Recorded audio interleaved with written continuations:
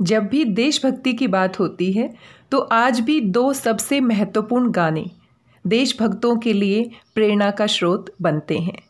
मेरा रंग दे बसंती चोला, मेरा रंग दे बसंती चोला, सरफरोशी की तमन्ना, अब हमारे दिल में है, देखना है ज़ोर कितना, बाजुए का तिल में है।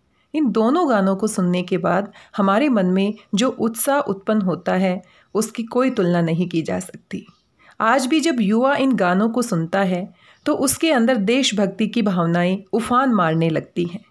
ये दोनों गाने महान क्रांतिकारी भारत माँ के सच्चे वीर सपूत और आज़ादी के आंदोलनकारियों के सबसे लोकप्रिय कवि राम प्रसाद बिस्मिल ने लिखे थे। जी हाँ आज हम बात करेंगे वीर शहीद राम प्रसाद बिस्मिल जी की। जब जब भारत के स्वाधीनता इतिहास में महान क्रांतिकारियों की बात होगी, तब तब भारत माँ के इस वीर सपूत का ज़िक्र ना हो, ये भला कैसे हो सकता है?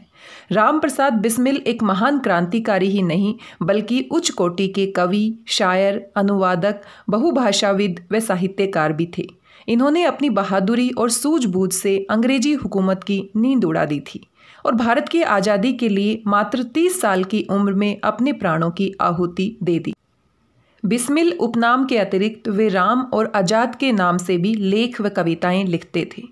उनकी प्रसिद्ध रचना सरफरोशी की तमन्ना, गाते हुए न जाने कितने क्रांतिकारी देश की आज़ादी के लिए फांसी के तख्ते पर झूल गए। राम प्रसाद बिस्मिल ने मैनपुरी कांड और काकोरी कांड को अंजाम देकर अंग्रेज़ी साम्राज्य को हिला दिया था। लगभग 11 वर्ष के क्रांतिकारी जीवन में उन्होंने कई पुस्तकें लिखी और स्वयं ही उन्हें प्रकाशित भी किया।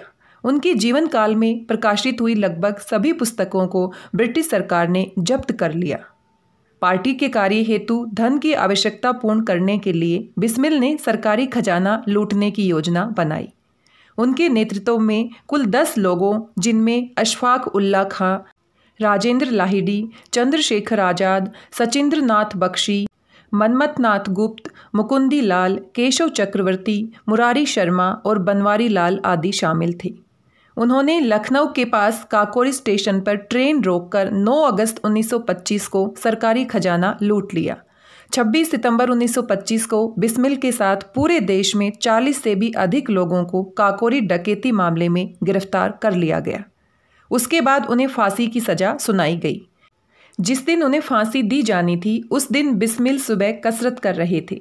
उन्हें कसरत करता देख जेलर आश्चर्य में आ गया।